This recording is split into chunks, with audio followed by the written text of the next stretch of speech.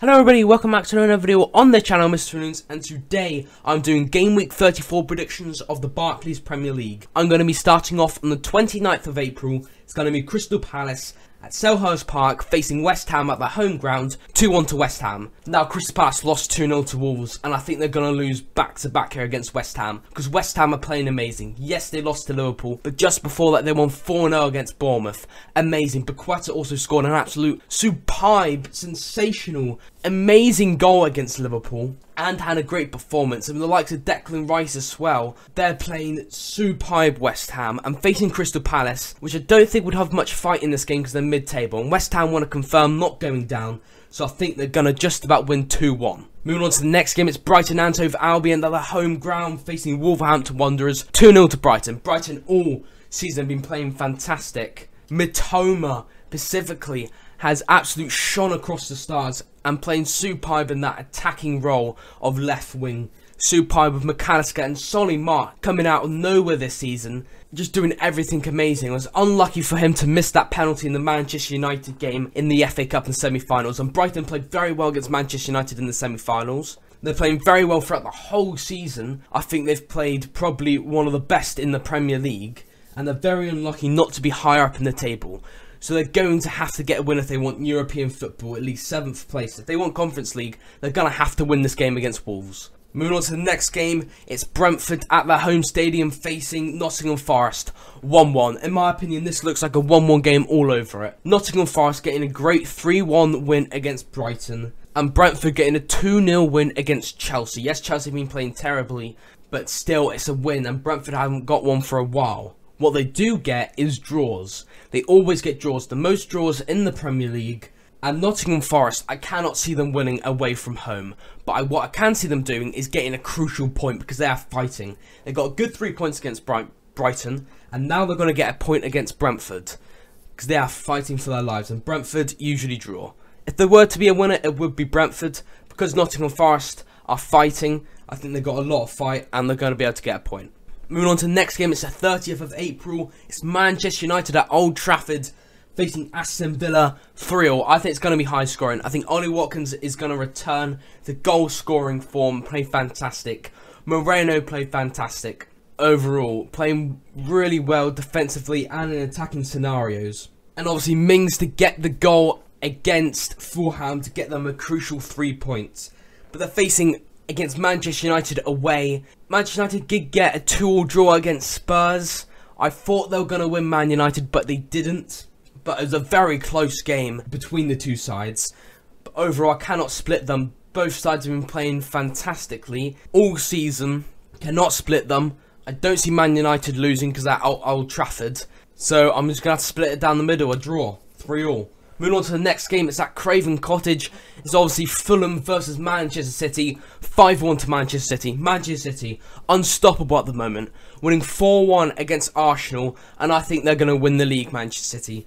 They've been fantastic. I think they're going to win every single game. The remaining games this season, Man City, they're going to win them all. And they're going to win the league. They're facing against Fulham, who lost 1-0 to Aston Villa and are in that high mid-table spot. 5-1 to Man City. I think they're going to absolutely batter Fulham. Moving on to the next game, it's at the Vitality Stadium. It's Bournemouth versus Leeds United. And I'm saying 2-1 to Leeds United. Now, Bournemouth, obviously a crucial win against last place 1-0 against Southampton.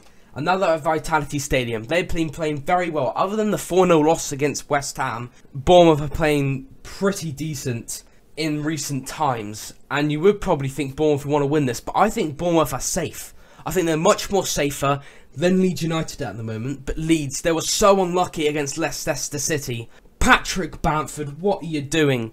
That was such a good opportunity to give Leeds United hope to stay up. An open net, he should have scored that. Should have scored it. He does everything right. He creates the chances. He plays an overall great performance to get in that amazing position but he just can't finish his beans.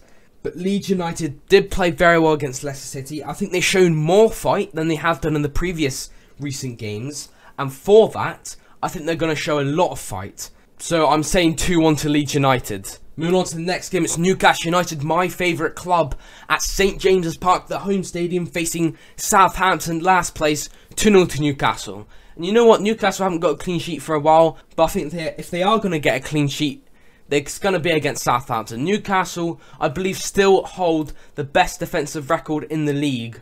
And yes, they do, with only 26 goals conceded, which is a great, great statistic for Newcastle United this season. I think they're going to be able to keep a clean sheet against Southampton.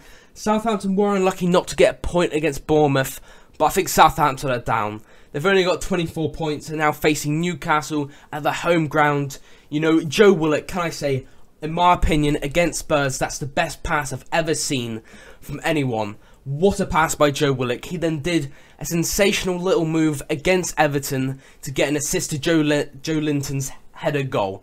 Fantastic by Joe Willock. Everyone's performing amazing. Even Jacob Murphy is getting onto the score sheet now. So I can, I definitely cannot see Southampton getting anything from this game, especially when Newcastle are at home. Moving on to the next game, it's at Anfield.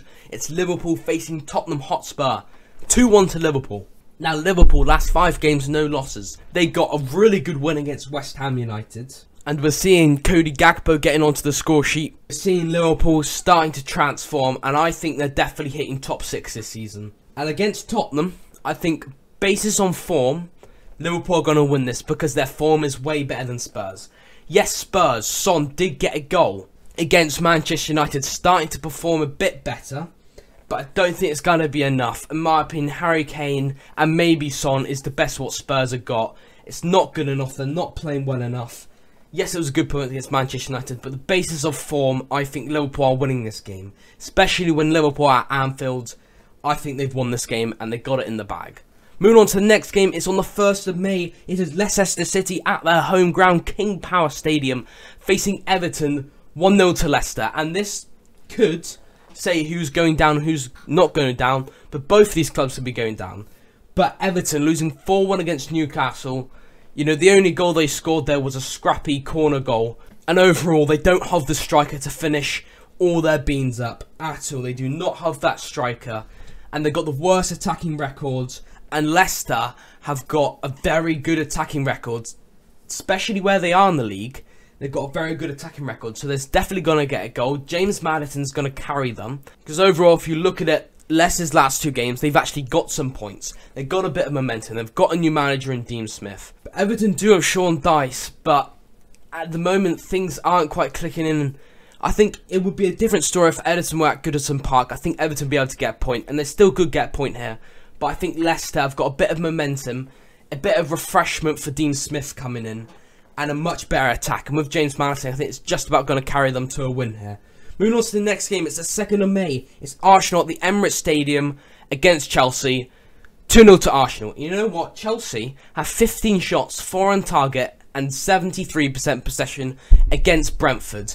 And it was unlucky for them to concede two goals against Brentford because Azpilicueta got an own goal, and that's very, very unlucky for Chelsea. But they they're losing. Even if you dominate the game in statistics, it's not going to be enough if you're not getting the result. And especially going away against Arsenal, I just think Chelsea needs someone to finish their beans. They get chances, hatful of chances every game, but it's not enough. Facing Arsenal, especially if Arsenal got any chance of winning this league, they're going to have to win here, and I think they will. 2-0 against Chelsea. Chelsea just needs a new striker a striker that can score goals. And that will be the end of my video. Just before I do wrap up today's video, last week I did terrible. 3 points out 20 points, absolutely shambolic. And overall I'm sitting on 182 points out of 650 points. Hopefully you can like and subscribe and always remember to turn on notifications to miss one of my fantastic YouTube videos. I will see you next time. To the pip now.